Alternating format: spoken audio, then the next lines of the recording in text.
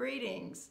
My name is Sarah Sanchez, and I am the chairwoman of the Healthy Congregation Committee, which consists of three members plus the pastor.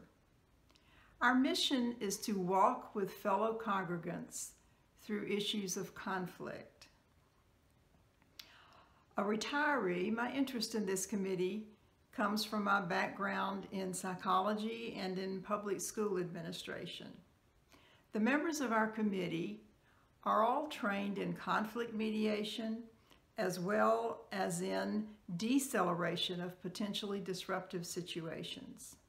We seek to encourage openness, respect, communication, healthy debate, and collaboration.